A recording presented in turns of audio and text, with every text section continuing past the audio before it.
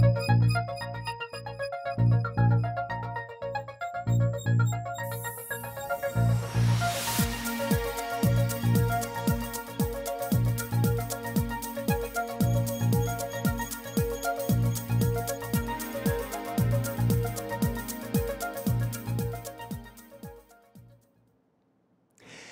Bonjour à tous, bonjour et bienvenue euh, pour ces cinquièmes rencontres prévention santé de la Fondation euh, Ramsay Santé. Cinquième fois que nous allons débattre en deux tables rondes d'un problème de, santé. Une table ronde d'abord d'une heure sur l'état des lieux du sujet que nous allons euh, étudier et puis ensuite les solutions pratiques, les pistes, tout ce que l'avenir nous réserve et comment il se prépare. Alors ce thème aujourd'hui pour les cinquièmes rencontres prévention santé, ce sont les jeunes et les écrans.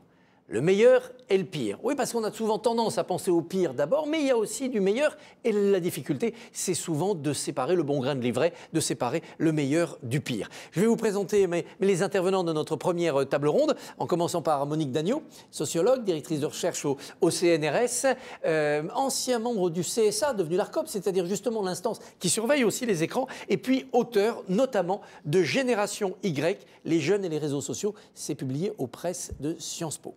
Olivier Masson-Limy, vous, vous êtes à la tête de la 1000DK. Chargé de mission. Chargé de mission. Et la 1000DK, en un mot, c'est la, mission, interministérielle de lutte contre les drogues et les conduites addictives. Voilà, le A de addictif. Donc voilà. Et peut-être d'ailleurs que drogue aussi, c'est valable quand on est en addiction pour, euh, pour les écrans. Carl Pinault, donc vous vous attachez vous aux stratégies développées dans le numérique à travers les designers éthiques. Comment le design peut être vertueux? Mais aussi peut-être aussi un, piège qui crée de, l'addiction. Et puis nous serons en, distanciel avec le docteur Marc Oriacombe qui apparaît sur, sur, sur, nos écrans. Bonjour docteur, vous êtes psychiatre et addictologue, vous êtes professeur à l'université de Bordeaux. Donc voilà euh, nos quatre intervenants pour décrire cet état des lieux, pour établir cet état des lieux d'un sujet qui, encore une fois, peut révéler le meilleur et le pire. Donc on voit bien comment, et c'est la difficulté pour les parents, c'est la difficulté pour les enseignants, c'est la difficulté pour les individus, il s'agit à chaque instant de savoir si on est dans une bonne pratique ou dans une pratique dangereuse, dangereuse pour soi, dangereuse par rapport aux autres. Il y a eu une étude qui a été faite par JAM pour la Fondation Ramsay Santé et qui nous apporte beaucoup d'éléments, et notamment cette idée que tout n'est pas négatif, que ce n'est pas forcément dangereux l'écran, que tout est dans son usage. Ben, ça va nous permettre de lancer la, discussion avec vous, Monique Dagnon, parce que quand on a préparé cette table ronde, moi je suis arrivé avec plein d'idées euh, euh, angoissantes, anxiogènes sur les écrans, et c'est vous qui m'avez rassuré en me disant mais non, non, il faut d'abord qu'on commence par dire que c'est bien, que c'est formidable. Mais Regardez le, premier sondage, la première, planche de cette étude de, JAM. Quel est le principal atout de ton portable? Moi, j'ai été surpris de voir que le lien social arrivait en tête, largement. Je me disais, bah non, le portable, il me coupe du lien social. Je suis là dans mon écran, je ne parle pas à mes enfants, je ne parle pas à mes parents, je ne parle pas à mes camarades. C'est donc une coupure. Pour les jeunes, ce n'est pas une coupure. Ce n'est pas une coupure parce que, en fait, le portable euh, et les liens numériques, c'est un relais et un prolongement de la vie réelle.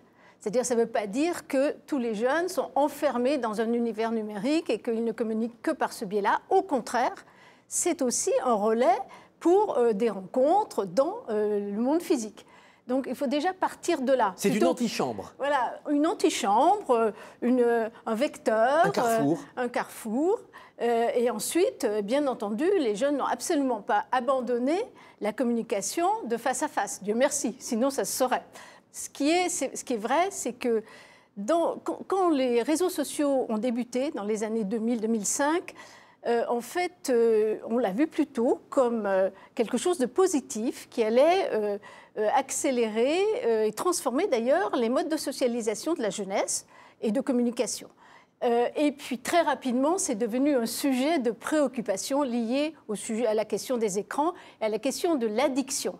C'est vrai que les écrans sont addictifs parce que euh, les écrans, ou de télévision d'ailleurs, comme Internet, euh, c'est une promesse permanente d'autre chose, de nouvelles images, de nouveaux plaisirs, euh, de, nouvelles, de nouvelles informations. Donc au total, l'écran et les images, c'est beaucoup plus addictif par exemple, que la lecture. Pourquoi? Parce que dans la lecture, il faut faire l'effort. Donc, quand on est fatigué, on s'arrête, tandis que quand on est devant un écran, on est sans cesse euh, éperonné, hameçonné. on est hameçonné d'une certaine façon. Et ça, c'est véritablement le sujet qui touche autant la télévision que, les écrans euh, d'Internet. Euh, donc, du coup, euh, on ne peut pas s'arrêter. Et, le débat sur le, caractère addictif, il existe depuis, je sais pas, depuis que la télévision existe, mais surtout depuis, disons, les années 90. Euh, parce qu'il euh, y a une production en direction des jeunes, euh, une tentative de sollicitation de l'attention des jeunes et des moins jeunes aussi. Et puis une multiplication de l'offre, des chaînes. Multiplication, voilà, une multiplication des chaînes. Et donc, quand les chaînes se sont multipliées, et notamment les chaînes pour enfants, mais des chaînes d'infos, etc., beaucoup de gens se sont, et notamment dans le monde de l'éducation, et puis surtout les parents, se sont inquiétés de cette, euh, de cette provision d'images et de, l'effet addictif que cela, et donc un peu aliénant que cela procurait. Donc en fait, le, rapport euh, à, l'Internet, aux réseaux sociaux, il a commencé au départ à être relativement positif. Je, vais vous donner un chiffre, par exemple, en 2009, pratiquement 80% des jeunes euh, lycéens, collégiens même, avaient été un compte Facebook. C'était Facebook à l'époque, mais ça s'est beaucoup diversifié euh, aujourd'hui. Et, euh, mais euh, ce n'était pas vu à ce point. Alors évidemment, il y avait l'accompagnement des, de Mark Zuckerberg, des créateurs de ces sites qui montraient tout ce, ce qui allait naître, ce qui n'est pas faux d'ailleurs, parce que ça a intensifié la sociabilité. ça a transformé beaucoup les modes de sociabilité, mais ça a transformé beaucoup d'autres choses aussi. Mais ça a changé ensuite. Et ensuite, ça, non, ça n'a pas changé. Disons que c'est devenu tellement ancré dans la vie euh, des adolescents et avec ce caractère addictif, c'est devenu véritablement un problème public. Et à partir d'ailleurs de, 2010-2011, on, on commence à avoir euh, des sujets d'inquiétude et euh, les écrans apparaissent davantage comme un danger ou quelque chose qu'il faut encadrer et contrôler. C'est devenu un problème, oui, de, santé publique. Ça facilite le lien social, ils le disent techniquement, on comprend bien pourquoi. Mais est-ce que ça ne le complique pas psychologiquement en enfermant l'individu dans la, possibilité ben, de, se créer un autre être qui n'est pas son être réel et dont il va être prisonnier alors ça c'est vrai, c'est une des principales critiques qui existent à l'encontre de ce nouveau mode de communication. Euh, quand vous communiquez via des réseaux sociaux euh, ou via des sites, en fait il faut vous créer une identité numérique qui n'est pas nécessairement votre identité. Et d'ailleurs, vous pouvez vous créer plusieurs identités numériques. Euh, pour euh, tel, sur Facebook, vous avez une identité. Et si vous êtes sur Instagram, vous multipliez les, images, les avatars, etc. Donc déjà, il faut savoir comment on va se présenter aux autres. Ce qu'on va donner aux autres, d'ailleurs, en, matière de communication Internet, le, principal euh, lieu d'identification, ce sont vos goûts vos goûts culturels, vos goûts musicaux, euh, euh, vos goûts en matière de, je sais pas, de, relations amoureuses, etc. Donc c'est effectivement, vous, vous, proposez et vous créez une identité de vous-même qui va permettre de communiquer avec les autres et euh, de éventuellement, parce que ce qui change beaucoup avec Internet, c'est qu'au départ, on communiquait avec ses amis, ceux qu'on connaît dans le monde réel si vous créez un compte Facebook, vous commencez par euh, solliciter, demander l'acceptation. visage découvert. Bah, visage non, non, non, pas du tout, dans le monde numérique, mais euh, vous commencez par dire, voilà, je demande à tel ami que je connais bien, qui a aussi un compte Facebook, de communiquer avec lui. Et puis progressivement, vous communiquez de plus en plus avec des gens que vous ne connaissez pas. C'est-à-dire, on dit amis Facebook, en fait, ce sont des contacts Facebook. Et ce qui a euh, été un des points qui a été transformateur de, ce, de ce mode de communication, c'est que vous pouvez devenir amis et même échanger beaucoup avec des gens que vous n'avez jamais rencontrés dans le monde physique. Et au départ, on pensait que ça ne changerait pas, mais on peut avoir des amis uniquement par des liens numériques. plusieurs, enfin, il y a plusieurs études qui montrent que aussi on se crée des amis, des amitiés que d'ailleurs éventuellement après on peut rencontrer dans le monde physique, mais via euh, Facebook. Un mot sur l'écart entre les filles et les garçons, entre les hommes et les femmes. Euh, pour euh, les femmes, c'est encore plus important pour le lien social. Positif ou inquiétant? De toute façon, dans toutes les études, les femmes regardent plus la télévision, échangent plus au téléphone et sont plus dans la communication, donc un nouveau moyen de communication. euh, numérique, eh bien, ça a été d'abord approprié par les femmes plus que par les garçons, même si ça par les hommes, même si les deux l'utilisent. Mais c'est vrai que vous avez une, une, propension communicationnelle plus forte chez les femmes. le portable ne fait documenté partout. Je vais me tourner maintenant vers le professeur euh, Auria Combe, avec donc là le, regard non de, de, la sociologie, qui est, et c'est très bien, toujours positif, parce que porte une vision d'avenir, mais le regard aussi du, médecin. Vous, vous avez peut-être vu, dans ce tournant des années 2000, sur la santé publique, l'impact négatif d'un écran invasif, d'un écran qui hameçonne et qui emprisonne en fait son usager. Alors, oui, effectivement, avec euh, l'apparition des écrans sont apparus euh, une association entre utilisation des écrans et euh, des éléments négatifs sur la santé. cependant, et du coup, comme toujours, c'est la question de la poule et de l'œuf. C'est est-ce que les, écrans viennent comme révélateurs de, problèmes ou est-ce qu'au contraire, ils ont un effet néfaste et ils induisent des problèmes chez les personnes qui n'en avaient pas? Alors, ce qu'on a vu apparaître, c'est euh, la question de savoir si se développaient des addictions euh, aux écrans. Et euh, il y, a plusieurs choses que l'on peut dire. D'abord, au niveau individuel, il y a effectivement des personnes, donc ça c'est apparu depuis une petite dizaine d'années maintenant, des personnes qui, elles, viennent en consultation voir des spécialistes des addictions en disant, voilà, j'ai l'impression d'être, enfin, je, me sens en difficulté, aidez-moi. Euh, la question, c'est est-ce que c'est par rapport à l'ensemble des utilisateurs des écrans, est-ce que c'est beaucoup ou c'est très peu euh, Et on voit aussi des personnes qui viennent euh, avec des difficultés dans l'utilisation des écrans, mais ces difficultés préexistent à l'utilisation des écrans. Donc vous avez un peu du mal quand même à voir, le, degré de, conscience. Regardez le, chiffre de cette étude JAM. Comment tu décrirais ta relation avec ton portable? Donc ça, on est chez les, jeunes. Euh, regardez, il y a quand même 38% de jeunes qui sont conscients de l'addiction. Ils se sentent en addiction. Alors, ils n'en souffrent peut-être pas trop parce qu'il y a du plaisir dans l'addiction. Mais ils sont conscients. Alors, c'est là où il faut bien préciser euh, ce qui caractérise l'addiction. L'addiction, ce n'est pas juste un usage en excès. L'addiction, c'est une maladie très particulière qui correspond en fait à la dérégulation d'une fonction très importante qui est la capacité d'expérimenter et euh, d'expérimenter du plaisir, de l'agrément. De la même façon qu'on a euh, un système qui régule le sucre dans le sang, ou un système, puisque le sucre est, très important comme pour, pour les cellules, de la même façon qu'on a un système qui régule euh, la réactivité des bronches en fonction de l'environnement où on se trouve, et qu'on a un système qui régule le, le, rythme du cœur, ce qui fait qu'il est plus calme au repos et il s'accélère quand on court, on a un système qui régule la capacité à, faire utiliser, à utiliser des sources de plaisir en fonction du lieu où on se trouve. Dans l'addiction, ce qui se passe, c'est que cette capacité se dérégule et du coup, la personne se trouve en usage un peu automatique, un peu imposé. Et c'est ça qui. La plainte des gens, c'est euh, ben, je n'arrive plus à faire comme je veux, je fais plus, euh, ça m'échappe.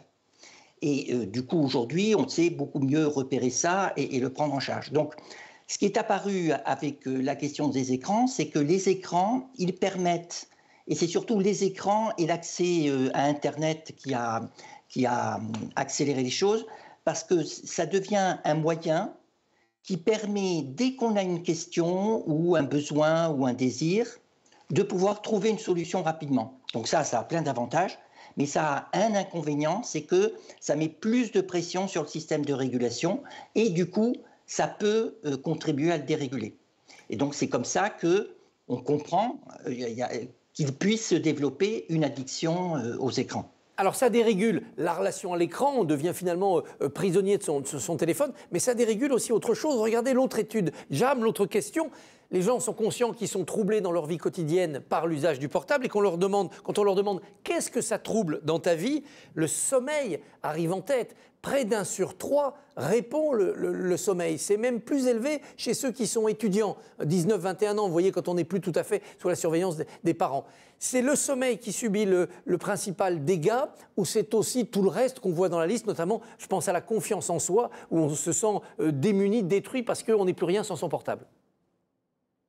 Voilà, tout à fait. Alors là, il faut faire très attention parce que euh, là aussi, il y, a la poule et l'œuf. Euh, D'abord, une chose, le sommeil, c'est une fonction euh, très fondamentale pour, de, la physiologie psychologique et cérébrale. Et donc, c'est quelque chose qui va, qui va être une plainte dans beaucoup de situations, hein, de façon non spécifique et pas forcément pathologique. Si on a des insomnies, on est susceptible d'utiliser son écran. Donc là, l'utilisation de l'écran, il vient révéler l'insomnie qui préexiste. Mais c'est vrai qu'une utilisation inappropriée des écrans, et surtout avec le type de lumière euh, émise par les écrans, peut favoriser les troubles du sommeil.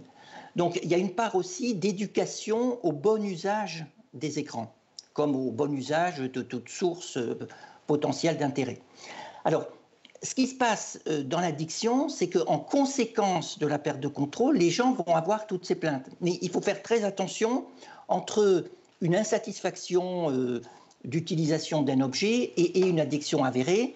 Dans, les études que, nous menons à l'Université de Bordeaux et dans de nombreuses autres universités, et, quand on compare entre chercheurs des différents pays, on estime que euh, l'addiction aux écrans, elle est de 1 à 2 des utilisateurs des écrans.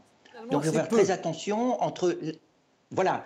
Donc, c'est une vraie pathologie avec toutes les gravités associées, à, comme on trouve aux autres addictions, et un risque de décès précoce, notamment par désespoir et suicide.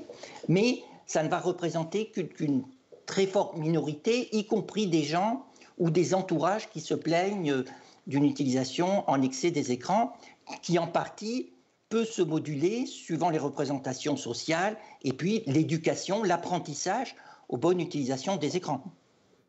Merci, merci beaucoup. Vient rester avec nous parce qu'on va venir après aux questions des, internautes qui se sont connectés et il y a des questions qui déjà vous, concernent. Olivier Masson-Alimi, vous qui êtes du côté de, de, la force publique, du pouvoir public, est-ce qu'aujourd'hui les, les pouvoirs publics ont une mesure claire de l'impact dans la société de l'écran, des écrans et des usages abusifs?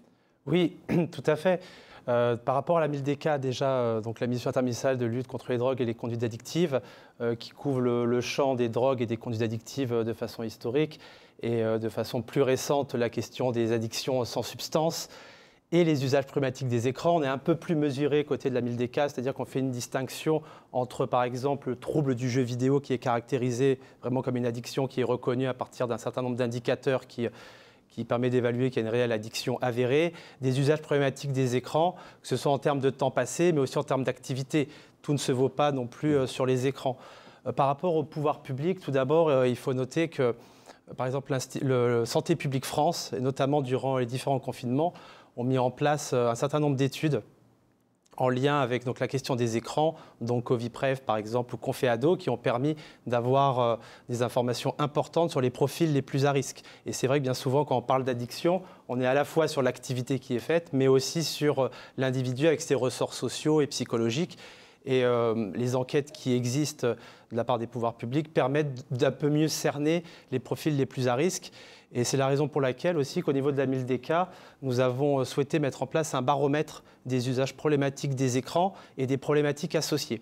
C'est-à-dire qu'en parallèle d'autres études qui existent, nous avons euh, souhaité mettre en place, sous l'impulsion du président de la MILDECA, le docteur Nicolas Pris, un baromètre pour avoir un peu une photographie à un moment T de ce qu'il en était. Donc euh, il y a des résultats qui corroborent assez bien l'étude JAM sur, euh, sur, le sommeil, par exemple, euh, l'impact sur le sommeil, sur du coup des, conséquences physiologiques, mais aussi psychologiques, et aussi en termes de qualité, de bien-être un peu plus général.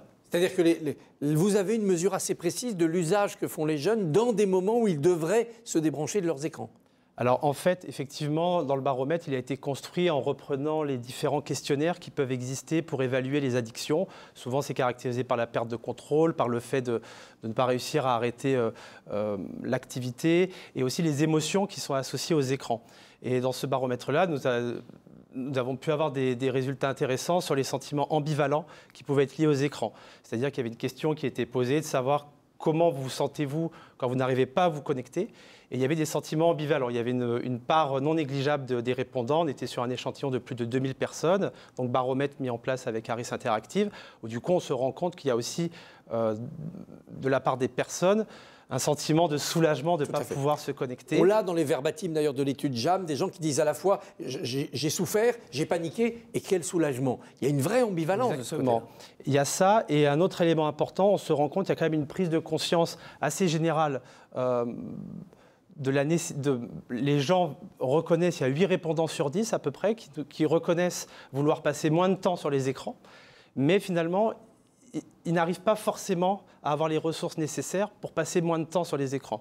Et donc ces, données-là nous permettent ensuite de mettre en place des stratégies euh, euh, de, prévention pour euh, ensuite outiller, outiller, la population, et là les jeunes en l'occurrence. Que ce soit jeux vidéo, télévision, Internet ou portable, quand je suis devant mon écran, je ne fais pas que ça ça peut aussi être un terrain favorable pour d'autres addictions. Euh, je mange, je bois, pour certains, je fume des substances illicites. C'est ça aussi le danger. Oui, c'est vrai que grâce au baromètre, on a pu voir quand même que par rapport à la part des usages intensifs, donc là on raisonne en termes de temps passé, euh, les usagers quotidiens intensifs sont deux fois plus nombreux chez les 15-24 ans pardon, que chez les aînés. Déjà, donc il y a, une cristallisation de, ce temps intensif chez les jeunes mais on remarque aussi que 74% des 15-24 ans euh, continuent leur activité numérique après le coucher. Donc on revient aussi sur l'étude JAM avec euh, euh, cette, cette problématique-là du sommeil. Et enfin, la question de l'obésité est souvent en lien avec le temps passé sur les écrans. On est sédentaire et on grignote. On est sédentaire et donc 42% des 15-24 ans interrogés estiment consommer plus de confiserie, de soda, de boissons sucrées lors de leurs activités numériques. Cette activité la 1000 surveiller cette addiction aux écrans, ça devient important par rapport au, reste des luttes que vous menez? C'est devenu un champ à part entière, en fait, depuis à peu près 4 euh, ans maintenant, euh, depuis donc 2018. Euh, euh, il y avait le champ des addictions avec produits. Ensuite, il y avait la question des jeux d'hasard et d'argent qui ont été intégrés. Et là, depuis récemment, la question des écrans.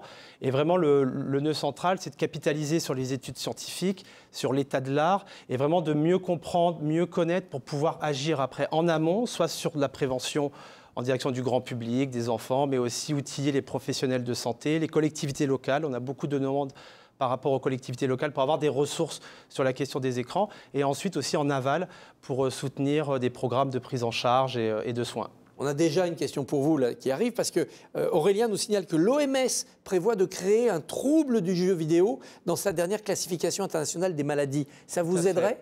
C'est utile à fait. C'est en cours. Ça a été déjà. il y a eu une première étape lors de la dernière Assemblée euh, nationale euh, de l'Assemblée mondiale pardon, de, la, de, la, santé. Ça devrait arriver effectivement euh, là cette année. C'est des choses qui sont déjà relativement bien intégrées dans le réseau des addictologues et des professionnels de santé.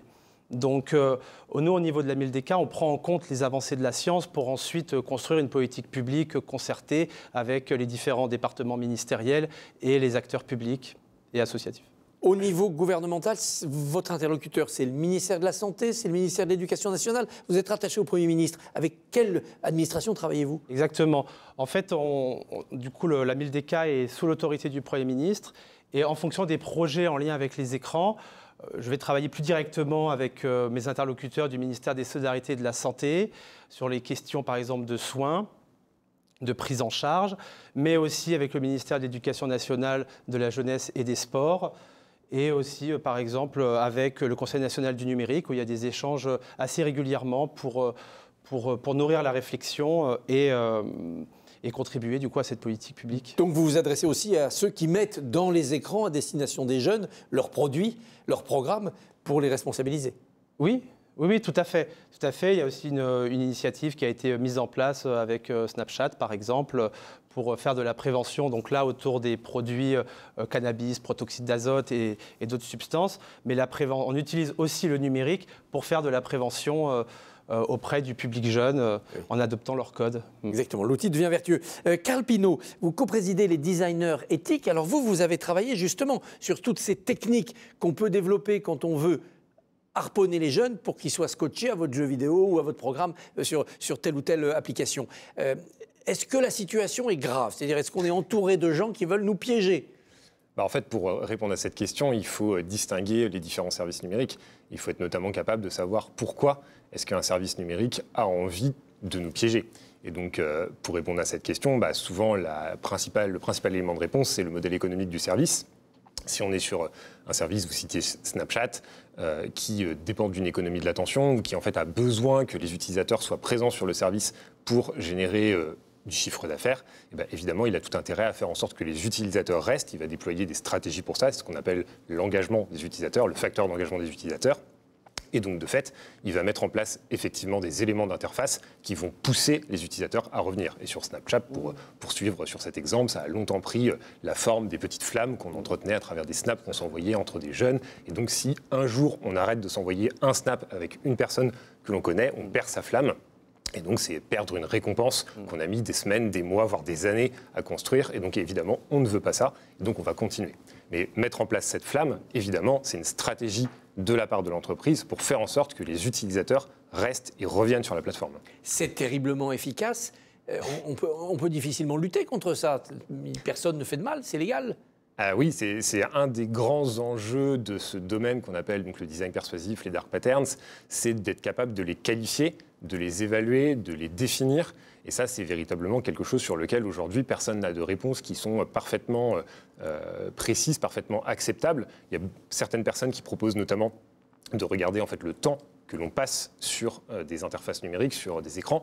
Euh, sauf qu'en fait, c'est une mesure qui est relativement euh, limitée parce que si vous allez sur Amazon, en fait, Amazon se fiche complètement du temps que vous allez passer sur la plateforme. Ce qui compte, c'est que vous achetiez quelque chose. Par contre, si vous allez sur Facebook, effectivement, le temps que vous passez peut être un argument pour Facebook. Donc en fait, trouver des métriques c'est extrêmement compliqué dans ce domaine-là, et c'est ce qui fait qu'on a beaucoup de mal à, vulgariser ce, ce sujet en fait. Qu'est-ce qu'un design éthique? Il faut quand même rester performant commercialement, sinon évidemment vous fermez boutique. Et comment rester dans l'éthique tout en étant efficace? Bah, Je pense qu'un des grands enjeux, c'est euh, la transparence et, pour reprendre les termes du RGPD, euh, le respect de la volonté de l'utilisateur, le respect du consentement de l'utilisateur. Par exemple, si vous avez un bandeau RGPD qui en fait est conçu explicitement de manière à tromper l'utilisateur et à faire en sorte qu'il accepte la collecte des cookies alors qu'il ne veut pas, là on est explicitement dans quelque chose qui est trompeur. RGPD, c'est la protection des données. Donc en effet, parfois on dit est-ce que vous autorisez, est-ce que vous refusez ou est-ce que vous voulez paramétrer? C'est parfois très complexe de, de faire autre chose qu'accepter. Hein. Exactement. Et donc de ce point de vue-là, c'est relativement simple de voir que si l'interface change toutes les trois semaines parce que les, utilisateurs se sont habitués à développer certains comportements et donc à aller cliquer en haut à droite pour refuser, eh bien en fait on va changer l'interface pour faire qu'en haut à droite maintenant ce soit accepté. Et donc les utilisateurs vont devoir reprendre de nouvelles habitudes. Et donc là c'est extrêmement facile en fait de jouer au chat et à la souris avec les utilisateurs et de les emmener euh, un peu où on veut en fait. Puisque maintenant il y a cette obligation de demander à l'utilisateur s'il autorise ou s'il refuse, est-ce qu'on voit des contournements? C'est-à-dire, bon, c'est pas grave s'il n'autorise pas les cookies, je vais l'attraper autrement alors, euh, on voit des contournements, mais euh, ces contournements, en fait, ils visent encore à lui faire accepter à l'utilisateur de collecter les cookies. C'est notamment euh, un bandeau RGPD qu'on a vu arriver sur un grand nombre de services en France. On peut citer Marmiton dans la liste, où en fait, quand vous refusez la collecte des cookies, donc vous exprimez votre refus, votre absence de consentement, eh bien la seconde interface qui suit vous dit si vous refusez, vous devez payer ou alors vous devez réaccepter. Et donc à ce moment-là, comme de toute façon on accède à un service qui pendant euh, des années, voire des décennies a été gratuit, évidemment, on, évidemment on cède.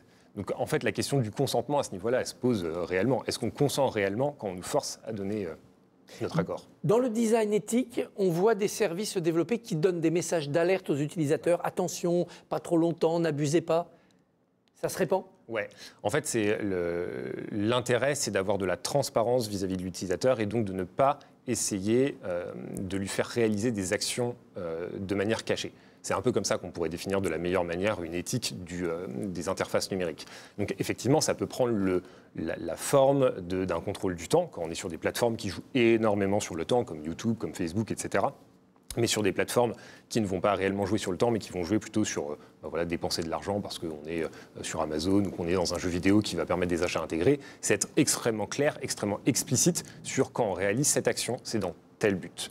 Et donc ça, c'est vraiment euh, un des enjeux principaux. Il y a un designer notamment qui proposait d'évaluer l'intention partagée entre d'un côté les designers, les concepteurs, donc qu'est-ce qu'ils ont comme intention quand ils mettent en place une fonctionnalité vis-à-vis de l'intention des utilisateurs quand ils utilisent cette même fonctionnalité? Et s'il y a une divergence d'intention, c'est qu'a priori, il y a peut-être un problème éthique. Donc là, on arrive à le mesurer et on peut se retourner vers l'émetteur pour dire attention, vous êtes en train d'avoir une pratique, une pratique déviante. Quoi.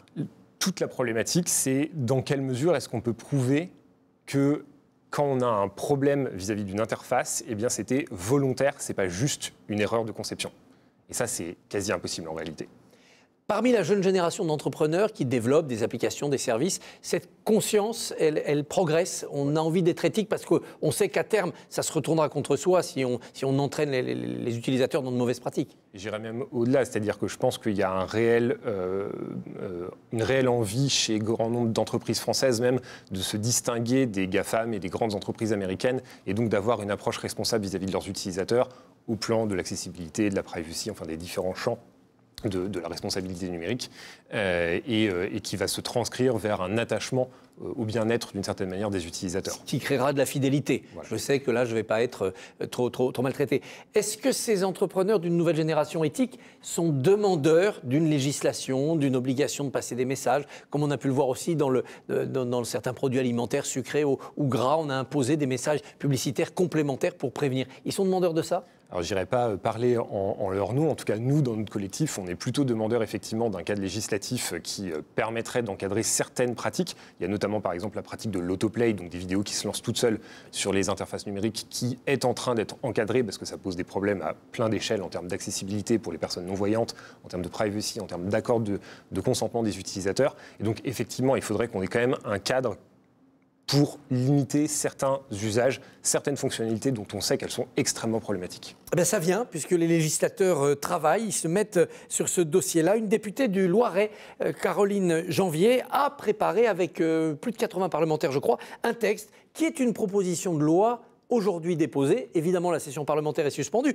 donc ça sera un travail à reprendre. Mais dans ce quinquennat, il y aura eu au moins ceci. On va écouter la vidéo de Caroline Janvier.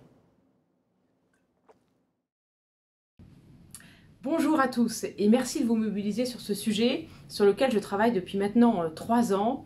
La surexposition aux écrans est d'abord un sujet qui me touche personnellement puisque je suis mère de trois enfants et j'ai constaté eh bien, deux choses. Que d'une part, le temps d'exposition aux écrans des enfants augmentait année après année et que l'on connaissait de mieux en mieux les effets sur la santé, sur le développement cognitif, sur le sommeil, sur l'alimentation et qu'il fallait donc construire une politique de santé publique euh, sur ce sujet. Pourquoi? Eh bien parce que si chaque parent est bien évidemment libre d'éduquer ses enfants comme il le souhaite, il revient à la puissance publique de donner à chacun le même niveau d'information, sensibiliser les parents, mais aussi de réguler l'usage des écrans dans les établissements qui accueillent les enfants, des haltes garderies, aux établissements scolaire en passant évidemment par les lieux périscolaires.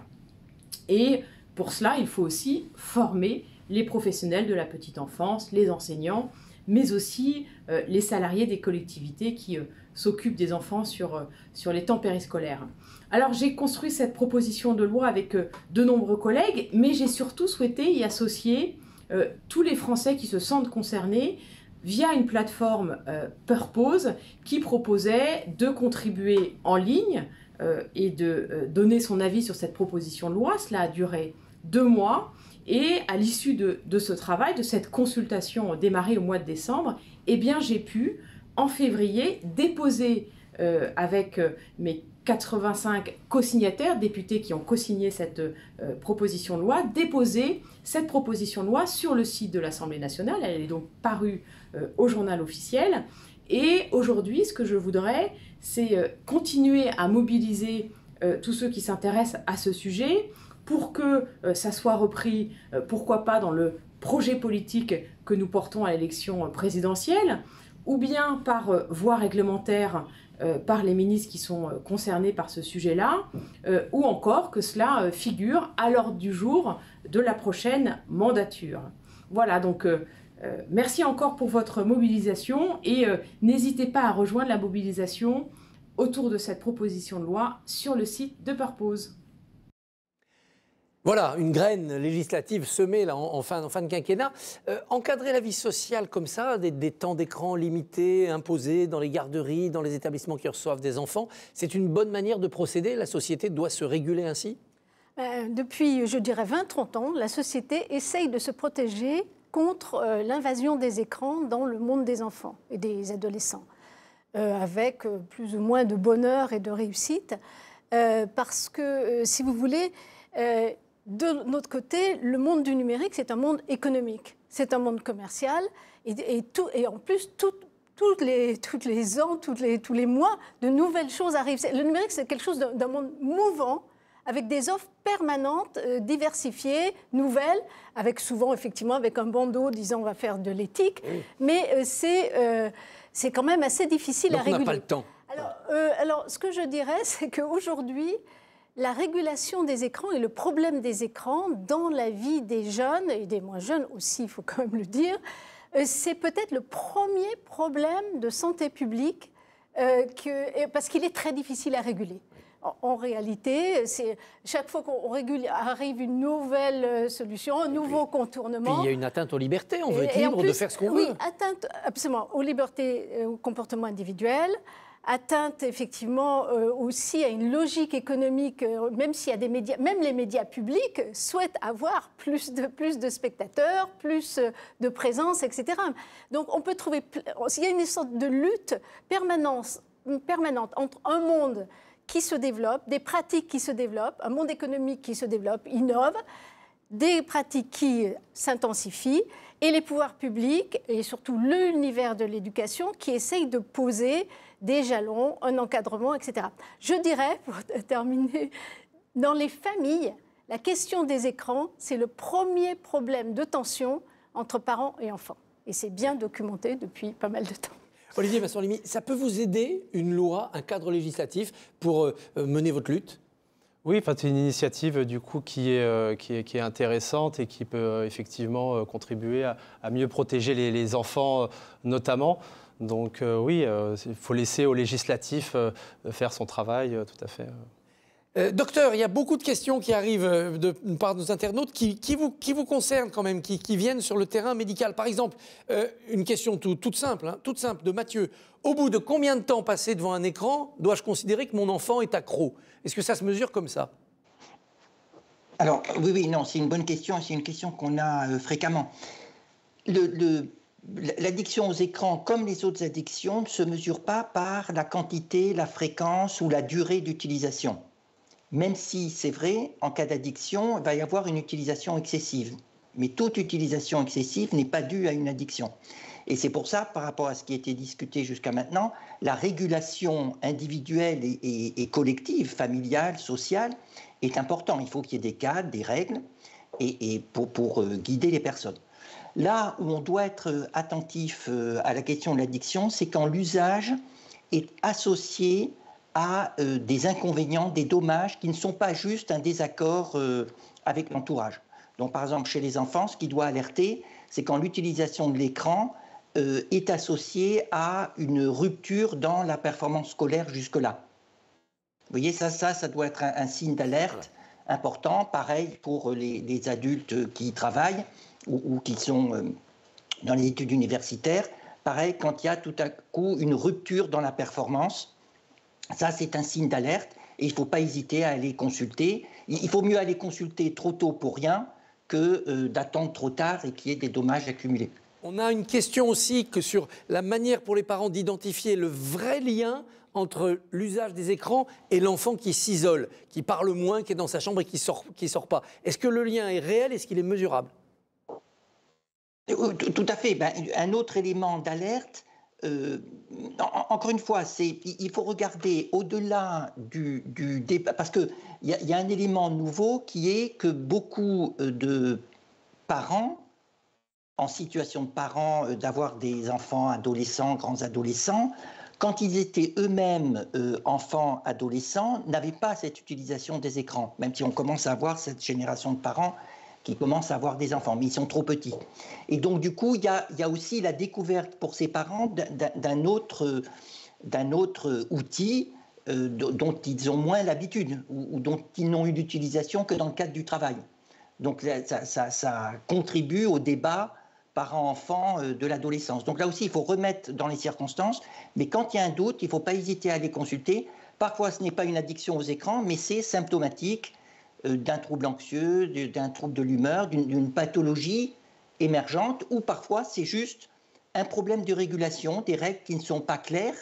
Et, c'est là où c'est important qu'il y ait un débat public et qu'il euh, y ait des règles où on convient, un, petit peu comme pour l'alcool, vous voyez. Pour l'alcool, on convient qu'il ben, y a la liberté individuelle de faire usage d'alcool, mais c'est un produit dangereux, et donc il y a des règles. Pour l'alcool, on a, mis des âges aussi, hein, de, la loi a mis des âges de, vente, de consommation. Monique Dagnon, est-ce qu'il est qu'il faut trancher sur l'âge? Il y a des gens qui disent mais il faut mettre les enfants jeunes devant les écrans parce que pédagogiquement, c'est un outil formidable. D'autres, et on le voit sur Internet, euh, on voit des enfants de 2-3 ans, nous dit Marie, se balader avec des tablettes euh, de manière très aisée. C'est peut-être une marque d'intelligence de leur part. Ils sont juste plus habiles que la génération de leurs parents. Et puis d'autres qui disent non, avant 3 ans, avant 10 ans, pas d'écran. Alors, avant 10 ans, peut-être pas, mais la recommandation qui consiste à dire pas d'écran avant 3 ans, je pense quand même qu'elle est bonne. Parce que, comme je vous l'ai indiqué, l'écran, euh, c'est des promesses permanentes de plaisir, de toute façon. Que même si vous regardez des programmes très très bien, donc euh, ne pas habituer euh, les très jeunes à ce, ce, plaisir permanent et qui ne s'arrête jamais. C'est un flux. C'est la question du flux en réalité. C'est pas la même chose de regarder un film qui est bien défini dans sa, sa durée, alors que l'écran, ça dure euh, à l'infini, si vous voulez. C'est le plaisir à l'infini qui est quand même un sujet. Donc, que l'on demande aux parents euh, de faire attention, et notamment avant 3 ans, et de limiter, voire d'interdire, moi je trouve ça très salutaire, et d'ailleurs je pense qu'il y a énormément d'éducateurs, de pédiatres qui seraient d'accord avec moi. Ensuite, euh, l'idée, effectivement, on dit toujours, il faut que les parents sachent exactement ce que leurs enfants regardent. Ça, c'est vrai, mais c'est compliqué avec euh, les smartphones euh, parce que, évidemment, les parents ne sont pas toujours derrière leurs enfants et surtout à partir d'un certain âge, pas du tout derrière.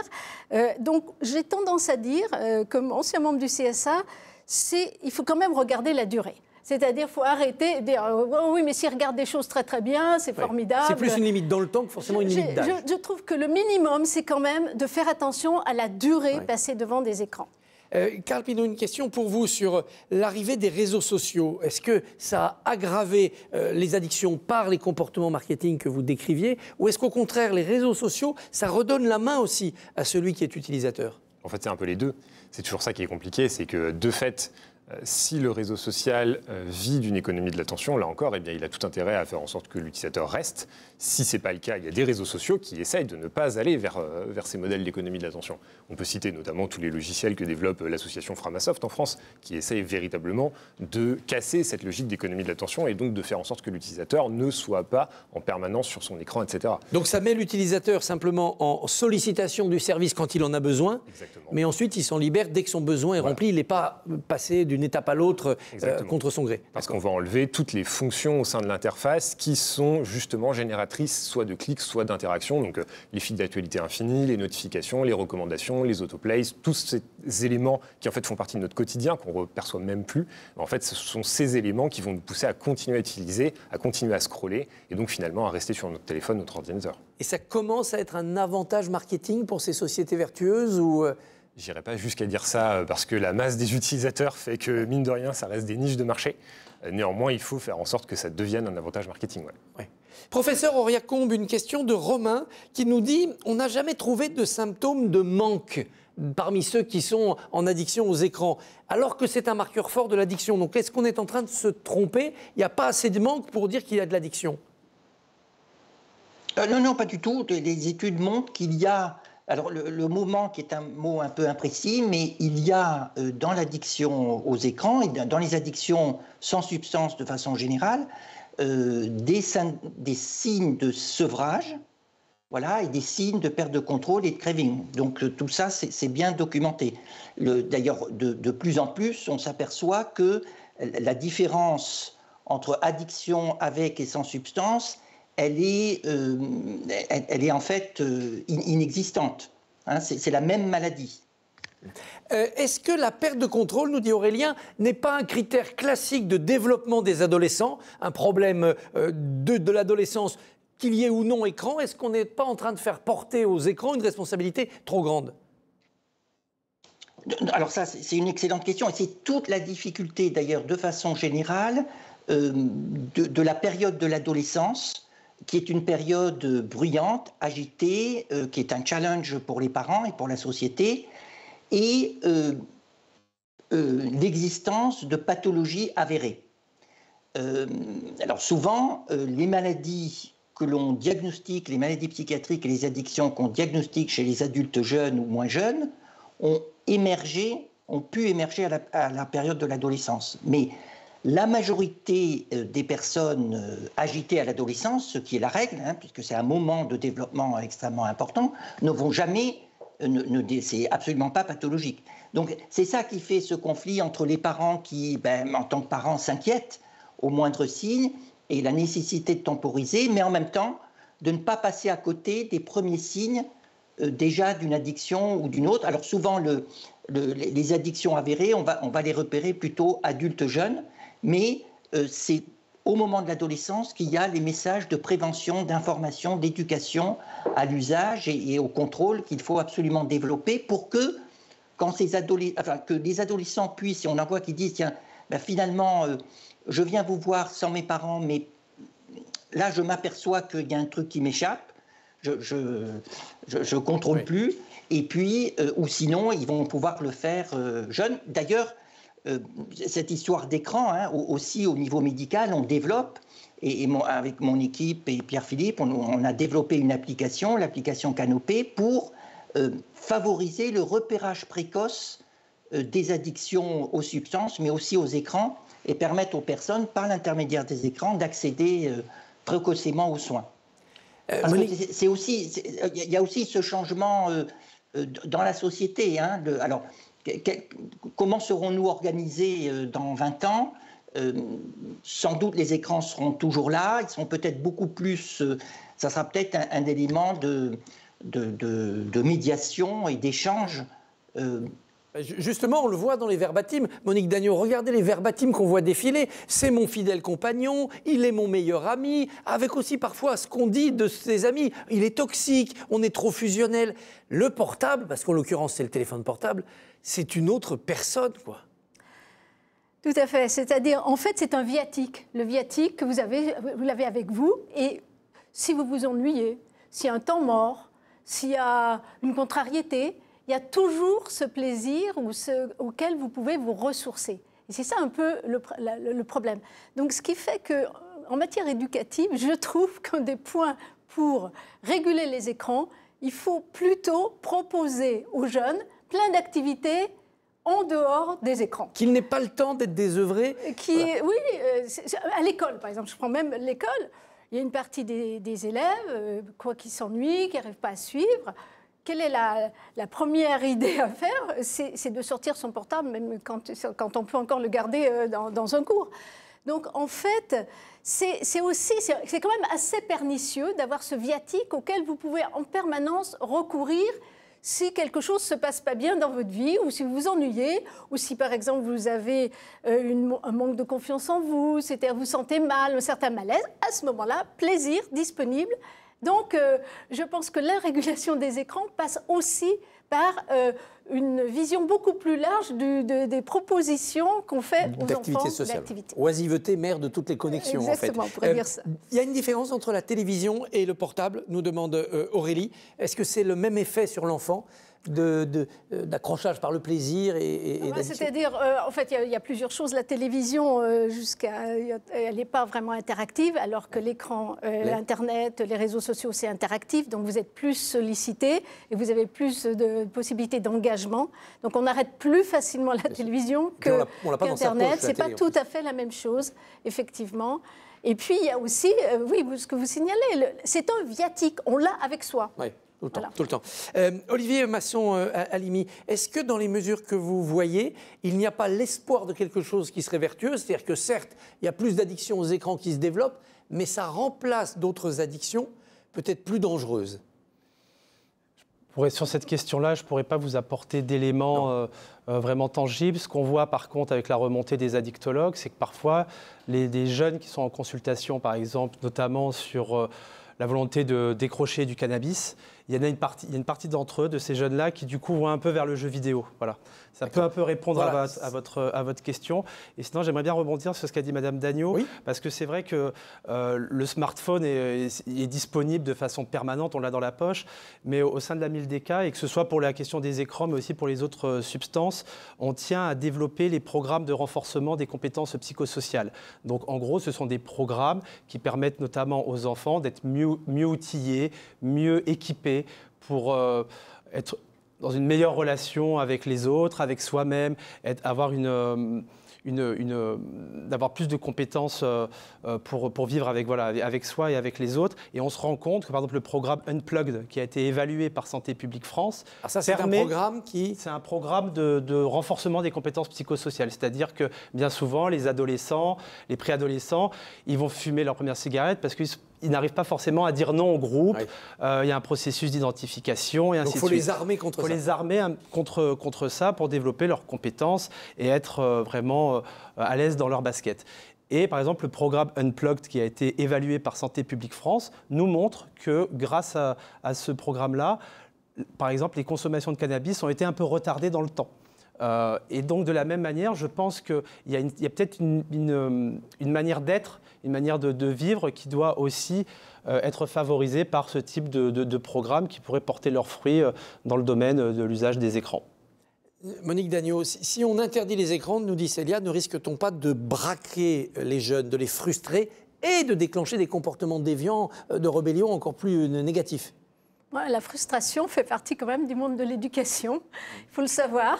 il faut apprendre la, frustration. Pour mieux déguster les moments où on est autorisé. Évidemment, on imagine que les jeunes vont se rebeller contre euh, cet environnement euh, qui limiterait l'usage des écrans. Euh, je, bon, j'y crois pas. Je crois que les jeunes sont quand même. Voilà, je le dirais autrement. Les jeunes, ils sont assez conscients des dangers et du fait que ce n'est pas euh, tellement salutaire pour eux de passer toute leur vie dans un monde numérique, en interaction, en subissant des sollicitations, euh, notamment des sollicitations commerciales.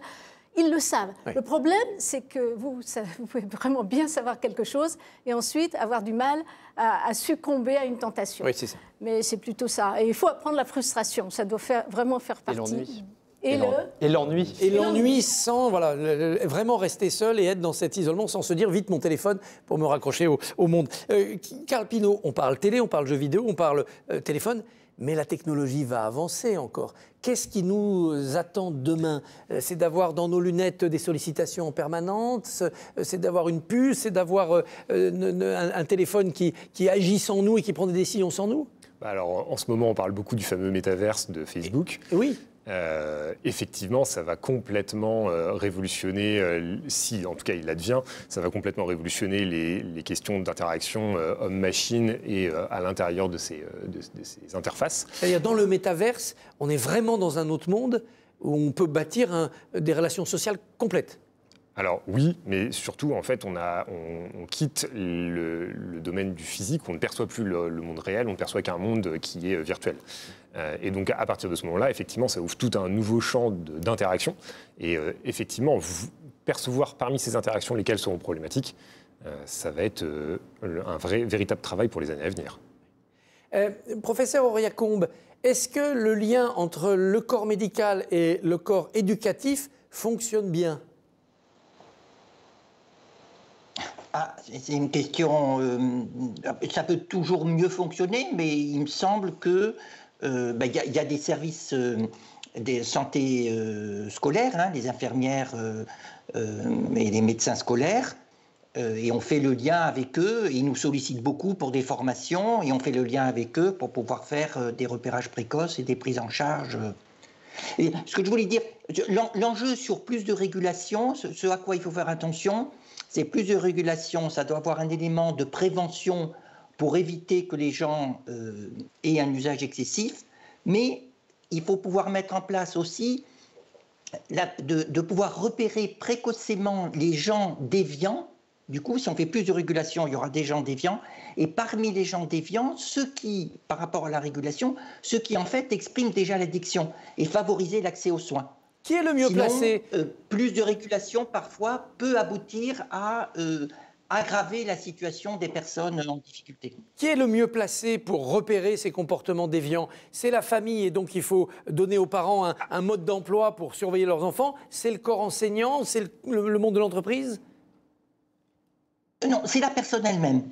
C'est transmettre le, message, euh, enfin, c'est tous les partenaires, effectivement, les partenaires des personnes, mais je dirais, il faut euh, vous voyez, ce qu'on a beaucoup développé et, avec des progrès très importants sur les 40 dernières années, c'est la, prévention des effets toxiques.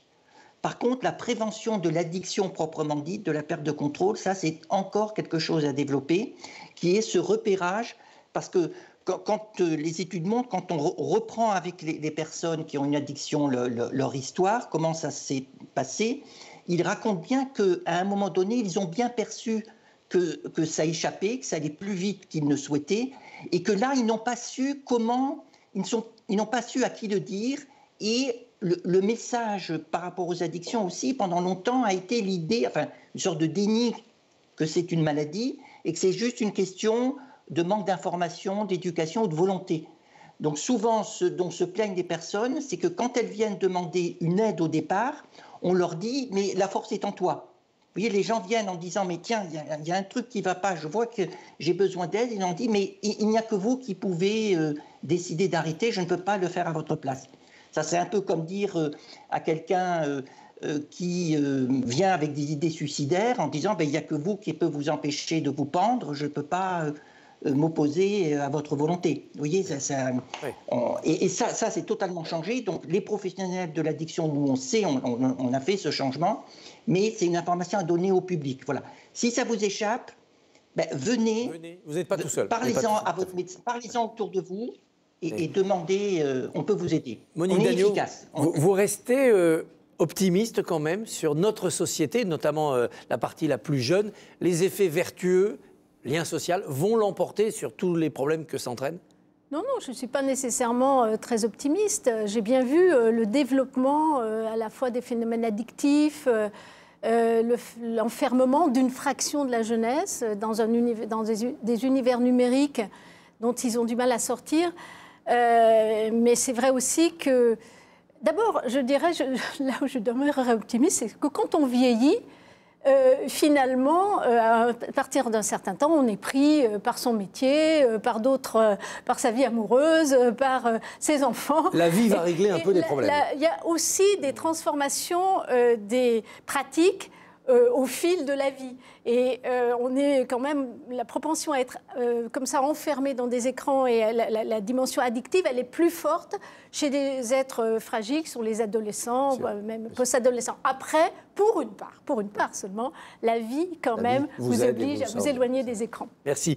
Euh, il me reste deux minutes pour faire une rapide synthèse, mais je crois que tout a été dit, puisqu'on voit qu'on a à la fois euh, un constat d'addiction ou de risque d'addiction dont les médecins s'emparent, dont la puissance publique maintenant est parfaitement consciente et qu'elle arrive à mesurer, on voit aussi que euh, les entreprises sont conscientes de cela et qu'on travaille déjà à améliorer l'éthique de l'entreprise. Donc on a l'impression qu'à tous les stades de ce, de ce, problème, ça y est, la conscience est là, la mesure est là et les premières initiatives sont, sont, sont présentes. Avec peut-être un chaînon manquant, bah c'est l'addict lui-même. C'est la personne victime de cette addiction et qui n'est pas encore assez informée, assez consciente que c'est un problème, qu'il y a des solutions à l'extérieur et qu'on peut aller frapper à certaines portes. Et là, c'est la réponse de la société qui va être euh, attendue euh, maintenant pour que euh, ceux qui se sentent en désarroi, ceux qui se sentent en perte de contrôle, puissent trouver des gens à qui s'adresser et surtout puissent être, être accompagnés. Encore une fois, ce qu'on peut espérer, c'est peut-être que de l'intérieur même de ces mondes numériques, on comprenne qu'il vaut mieux garder longtemps euh, des abonnés fidèles à une application parce qu'ils se sentiront bien et qu'on les aura aidés à en avoir bon usage, que d'essorer rapidement des consommateurs et euh, des, en faire des malades. Donc voilà, moi je trouve que cet état des lieux, par rapport à d'autres sujets qu'on a étudiés dans les premières euh, rencontres Ramsey Santé, cet état des lieux est assez optimiste. On, est, on a les pieds sur terre, on est vraiment conscient du, problème. Il n'est pas si grave que ça, même s'il est grave, et on va pouvoir passer aux solutions euh, très pratiques pour euh, éviter d'être en addiction ou se sortir d'une addiction. Et ça, c'est l'objet de notre deuxième table ronde dans, dans un quart d'heure maintenant, après euh, la pause d'usage. On va commencer à voir toutes les solutions des plus humaines aux plus technologiques, des plus globales aux plus, plus pointues, comment on commence déjà à s'armer pour résister aux addictions et si on tombe dedans, comment en sortir. Donc, ben, petite pause d'un quart d'heure. Vous restez avec nous, vous revenez et on aura beaucoup de solutions pratique dans la deuxième partie de ces rencontres Ramsey Santé. Merci à vous. Olivier, vous allez rester avec nous pour cette deuxième partie. Merci Karl, merci professeur Auriacombe et puis merci beaucoup Monique Dagnon. On vous rend à vos recherches parce que je sais qu'une réunion importante vous attend très très vite. Merci à tous, à tout de suite.